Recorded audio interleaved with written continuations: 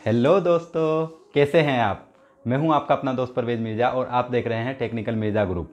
और आज मैं आया हूँ एक नए टॉपिक के साथ, जैसे मैं हर बार वीडियो बनाता हूँ, एक, हर एक बार नए टॉपिक के साथ वीडियो बनाता हूँ तो आज भी एक नया टॉपिक आप लोगों के लिए लेके आया हूँ। तो आज मैं आपको बताने वाला हूँ गैस कटर, यानी कि गैस कटर की जो नोजिल होती है, उसके साइज़ के बारे में आज मैं आपको डिटेल में समझाने वाला हूँ, कितने साइज़ से कितनी मोटी कितने एम की शीट हम लोग कटिंग कर सकते हैं। तो आज उसी के बारे में मैं आपको डिटेल में समझाऊँगा। तो बिना कोई देरी किए चलिए शुरू करते हैं।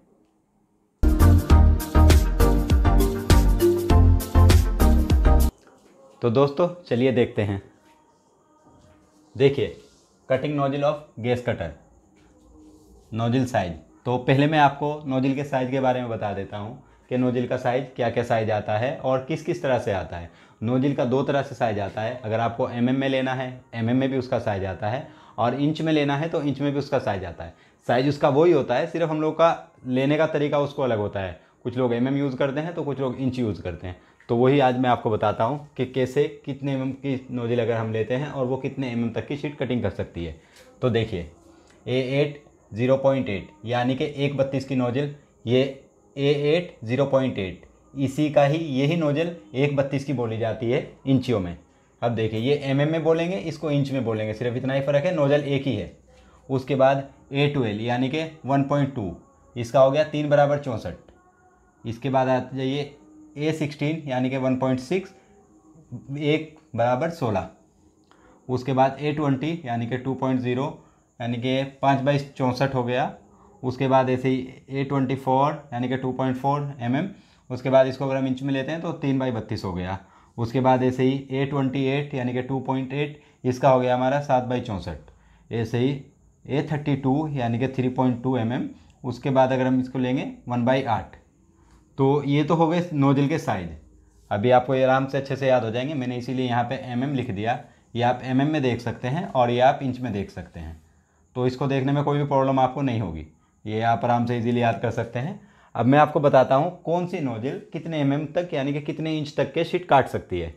तो देखिए, एक बत्तीस की हमारी नोजिल जो होती है, वो काट सकती है छः एम mm तक की शीट।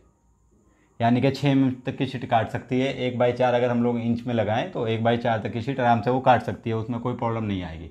उससे नीचे जितनी होगी, एक एम एम दो एम एम वो उस तो छः छः एम तक के वो आराम से इजीली काट सकती है। उसके बाद हमारी तीन चौंसठ की नोजिल जो होती है, ये 12 एम mm तक की काट सकती है। यानी कि वन बाई टू, यानी कि हाफ़ इंच तक की शीट को ये आराम से काट सकती है, कोई भी प्रॉब्लम नहीं आएगी। उसके बाद हमारी तीन नंबर पे आ जाइए। तीन नंबर, यानी कि एक सोलह की जो नोजल है हमारी, वो बहुत सारी कटिंग कर सकती है। वो अपने 25 एम mm की भी काट सकती है 50 की भी काट सकती है, पिछहत्तर की भी काट सकती है। ये एक सोलह की नोजिल बहुत सारी शीट काट सकती है। यानी कि आपकी 25 एम mm से लेके पिछहत्तर एम mm तक की कोई भी शीट हो वो आराम से काट देगी, यानी एक इंची हो, डेढ़ हो, दो हो, ढाई हो, तीन इंची हो, तीन इंची तक के एक ही नोजिल आपका काम कर देगी, तीन नंबर। एक सोलह की नोजिल, ये बहुत ज़्यादा यूज़ की जाती है, अगर मोटी कटिंग हो। उसके बाद आ जाइए, पाँच बाई चौंसठ, ये आ जाएगी अपनी चार नंबर। तो हमारी चार नंबर जो नोजिल है, ये सौ एम तक की शीट काट सकती है, यानी कि चार इंची। उसके बाद आ जाइए आप पाँच नंबर पाँच नंबर हो गई तीन बत्तीस। यानी कि तीन बत्तीस की जो नोजल आती है, वो 150 सौ mm तक की काट सकती है, यानी कि छः इंची। यानी कि छः इंची मोटी शीट तक ही आराम से काट सकती है। उसके बाद आ जाइए आप छः नंबर, यानी कि सात बाई चौंसठ। सात बाई चौंसठ की जो नोजल आती है, वो तो 200 सौ mm यानी कि आठ इंची तक की शीट को वो आराम से काट सकती है। उसके बाद जो सबसे लास्ट नोजल आती है, वो आती है एक बाई आठ की।